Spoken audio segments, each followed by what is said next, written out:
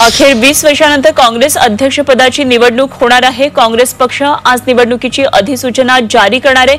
राजस्थानचे मुख्यमंत्री अशोक गेहलोत हे काँग्रेस अध्यक्षपदाची निवडणूक लढणार आहेत. काँग्रेसच्या विद्यमान प्रभारी अध्यक्ष सोनिया गांधी आणि अशोक गेहलोत यांच्यामध्ये काल दोन तास चर्चा झाली. बैठकीनंतर गेहलोत यांनी निवडणूक लढण्याची तयारी दर्शवली आहे.